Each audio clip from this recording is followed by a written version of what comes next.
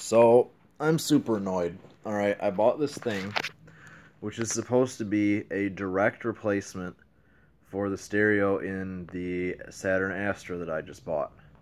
And it perfect. It looks perfect dimensionally and everything.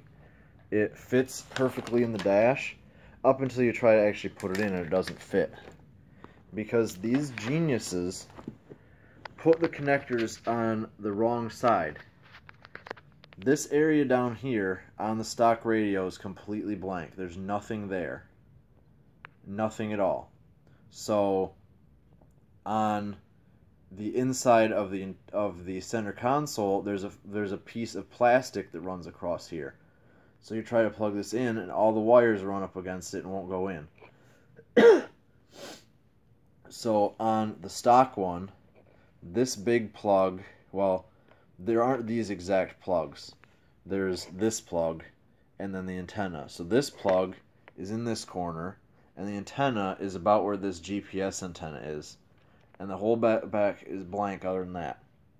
So what I'm going to have to do, instead of just sliding this in, because you can see this antenna cord is like folded over almost, I'm going to have to like Dremel out this entire back part so this thing can slide in right. and not only that, but um, it came. It has a bunch of accessory attachments like USBs and stuff like that. Um, and because this thing was somewhat expensive, they had a thing on the site. If you spend more than like $150, you get a free um, either reverse camera, uh, dash cam, or a uh, $15 coupon and I didn't really want the reverse camera. It was the most expensive thing by ten dollars, but I would I don't really need it. And the dash cam I thought it would be cool to have one actually integrated into this. Well, the USB from the dash cam is now stuck. The the end of the cable is stuck under the dash and I cannot get it out. I can't push more cable in, I can't pull the cable out. I have no idea what happened. And it's in a place where I think even if I like twist myself into a pretzel so that I can get underneath like where the gas and brake pedal are, I don't think I'm going to be able to see where it is. So I have no idea how I'm going to get that out of there.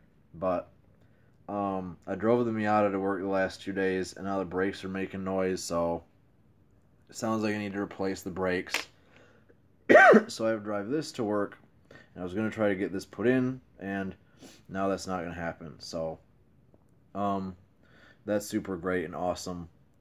Uh, because I still haven't gotten the probe radio installed either, and I'm supposed to get that done first. So, pretty much I'm working 12 hour days.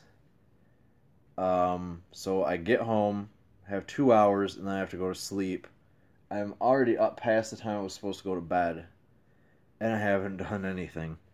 So, yeah, that's super fun. I mean, I'm making a good amount of money, but my brain is like dead. And it's really annoying to not be able to do stuff uh, during the day.